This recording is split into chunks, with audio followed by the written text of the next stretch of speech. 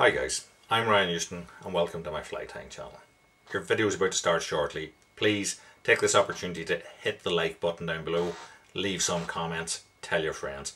Interaction, likes, subscriptions help my channel to grow and help me to keep producing content for yourselves.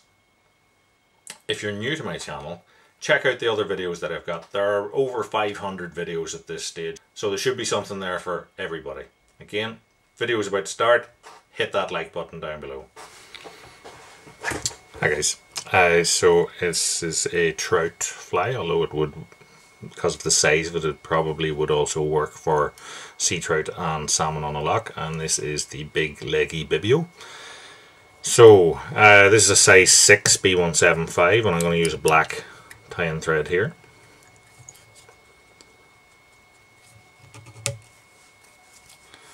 The first thing I'm going to do is to tie in the legs. So I'm going to take some black knotted pheasant tail here. Take off say half a dozen or so and tie them in pointing forwards. And then bind that down along the body. So next we're going to tie in our rib which is a silver oval and bind that down to the bend. And at the bend we're going to start our three part body. So the Bibio is black, red, black. So we're going to use a bit of black seal here or dubbing or whatever you've got. And then we'll move into a bright red. So how much you use is up to yourself. Um, some people like it quite prominent and especially the other thing you have to consider when you're doing it is that you're going to put a black hackle etc over it. So what you think is prominent suddenly gets covered up. So you probably have to err a little bit more uh, on the red side than you think to get it to stand out. And then we'll go back to the black dubbing seal whatever.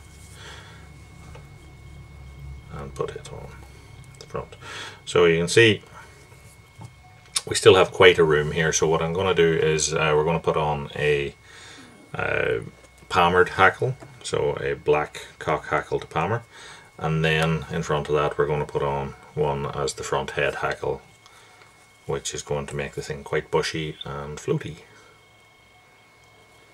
So we take our palmering hackle, put on a turn to begin with because that I find helps to blend in the front hackle uh, because the front hackle would be coming and stopping here and if you've just gone straight into your palmer it sometimes leaves a little bit of a gap and breaks the hackle again.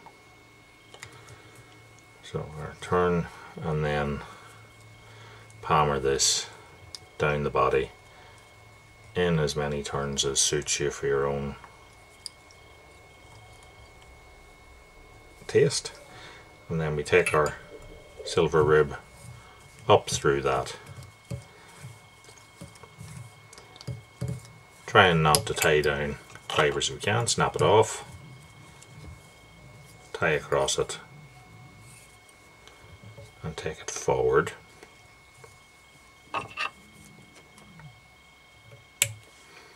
Trim off the rib and then we're just going to fold this hackle or sorry uh, legs back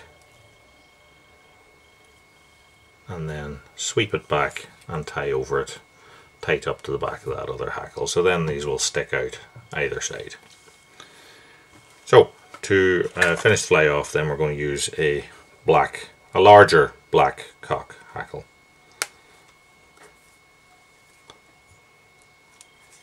Tie it in by its base. Pointing forwards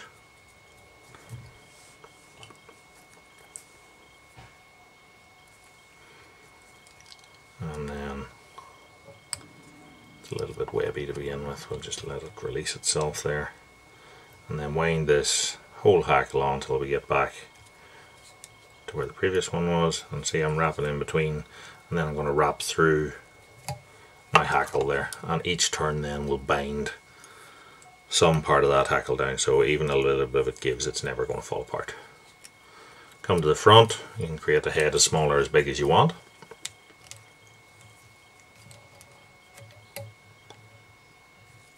Finish it off.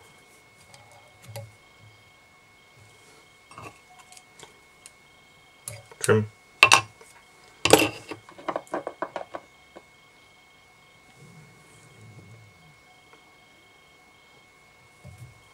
Varnish the head and that's the fly tied. So as you can see it's quite a big uh, bushy fly as it is. Uh, if you want you can get in with a, a needle and uh, pick out the dubbing if you want it to be even more standout. Uh, and as you can see it's a big attractor pattern. You pull that in a wave or yank it up and let it sit. Uh, it's not going to go unnoticed. So hopefully you like what you see. If you did, give us a like, subscribe, tell your friends, check out all the other videos on the channel, and until next time, tight lines, and thanks for watching.